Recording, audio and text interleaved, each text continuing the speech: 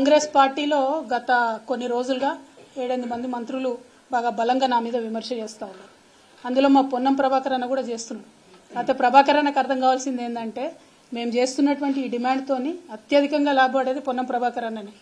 ఒక దళిత్ ఇవాళ deputy CM ఉన్నారు.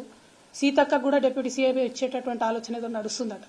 అట్లనే పొన్నం ప్రభాకర్ అన్న కూడా మనం డిమాండ్ చేస్తాం కదా రేపటినాడు బీసీల వాట అడుగుతాం. ఎక్కువ రాజకీయంగా లబ్ధి పొందేది వాళ్ళే.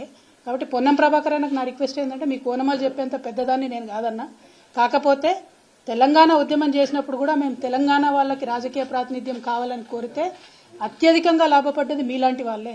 కాంగ్రెస్లో ఉన్న టీడీపీలో ఉన్న ఆనాడు తెలంగాణ నాయకులు ఉండాలి అంటేనే మీరు లాభపడ్డారు. ఇవాళ కూడా బీసీలకు రాజ్యాధికారంలో వాటా కోరుతా ఉన్నామంటే ఎస్సీలకు ఎస్టీలకు వాళ్ళ అధికారం రావాలని కోరుతా ఉన్నామంటే లాభపడేది మనమే కదా. రేపటి నాడు వైస్ ఛాన్సలర్ నియామకాలు ఉన్నాయి. ఖచ్చితంగా అందులో బీసీలకు వాటా ఇవ్వాలి. ఈ తెలంగాణ రాష్ట్రం ఏర్పడ్డ తర్వాత స్టేట్ మన ఎడ్యుకేషన్ కౌన్సిల్కి ఫస్ట్ టైం ఒక దళిత్కి మేము చైర్మన్గా చేసినాం. మంచి పని చేసి వాళ్ళు కంటిన్యూ చేసినారు మా లింబాద్రి సార్ని. అట్లనే vice Osmania university vice chancellor first time ఒక యాదవ్ బిడ్డకి ఇవ్వడం జరిగింది వైస్ ఛాన్సలర్. సో ఇవన్నీ కూడా దృష్టిలో పెట్టుకుంటే వచ్చేటటువంటి నియామకాల్లో ఇప్పుడున్నటువంటి ప్రభుత్వం ఈ అరవై రోజుల్లో సామాజిక దృక్కోణం అనేటటువంటిది కనబడడం లేదు. మేము అలర్ట్ చేస్తా ఉన్నాం ఈ గవర్నమెంట్ని. సూచన చేయమని కోరినారు ప్రతిపక్షాల నుంచి. ఒక బాధ్యతాయుతమైనటువంటి సంస్థగా భారత్ జాగృతిగా బీఆర్ఎస్ పార్టీగా మేము అలర్ట్ చేస్తా ఉన్నాం ప్రభుత్వాన్ని. వారు మేల్కొని వెంటనే మంచిగా బీసీలకు ప్రాతినిధ్యం ఇస్తే బాగుపడేది మా పొన్నం ప్రభాకర్ అనే కదా. నాకైతే రాదు కదా పదవి. మా అన్న కోసమే అడుగుతున్నా. కాబట్టి అన్న అంత కోపం పెట్టుకోవద్దని చెప్పి పత్రికా ముఖంగా ఆయన రిక్వెస్ట్ చేస్తున్నా. కాంగ్రెస్ పార్టీలో గత కొన్ని రోజులుగా ఏడెనిమిది మంది మంత్రులు బాగా బలంగా నా మీద విమర్శ చేస్తూ ఉన్నారు. అందులో మా పొన్నం ప్రభాకర్ అన్న కూడా చేస్తున్నాడు అయితే ప్రభాకర్ అన్నకు అర్థం కావాల్సింది ఏంటంటే మేము చేస్తున్నటువంటి ఈ డిమాండ్తోని అత్యధికంగా లాభపడేది పొన్నం ప్రభాకర్ అన్నని.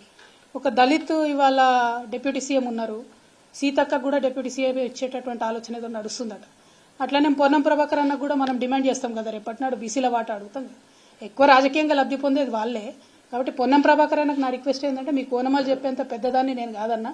కాకపోతే తెలంగాణ ఉద్యమం చేసినప్పుడు కూడా మేము తెలంగాణ వాళ్ళకి రాజకీయ ప్రాతినిధ్యం కావాలని కోరితే అత్యధికంగా లాభపడ్డది మీలాంటి వాళ్ళే.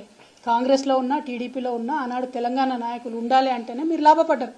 ఇవాళ కూడా బీసీలకు రాజ్యాధికారంలో వాటా కోరుతా ఉన్నామంటే ఎస్సీలకు ఎస్టీలకు వాళ్ళ అధికారం రావాలని కోరుతా ఉన్నామంటే లాభపడేది మనమే కదా. రేపటి నాడు వైస్ ఛాన్సలర్ నియామకాలు ఉన్నాయి.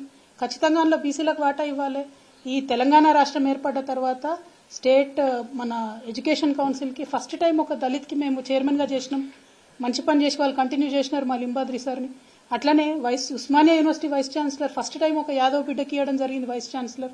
సో ఇవన్నీ కూడా దృష్టిలో పెట్టుకుంటే వచ్చేటటువంటి నియామకాల్లో ఇప్పుడున్నటువంటి ప్రభుత్వం ఈ అరవై రోజుల్లో సామాజిక దృక్కోణం అనేటటువంటిది కనబడడం లేదు. మేము అలర్ట్ చేస్తా ఉన్నాం ఈ గవర్నమెంట్ని. సూచన చేయమని కోరినారు ప్రతిపక్షాల నుంచి.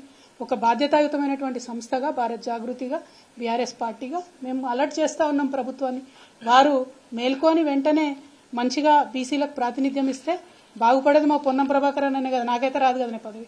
మా అన్న కోసమే అడుగుతున్నా. కాబట్టి అన్న అంత కోపం పెట్టుకోవద్దని చెప్పి పత్రికా ముఖంగా ఆయన రిక్వెస్ట్ చేస్తున్నా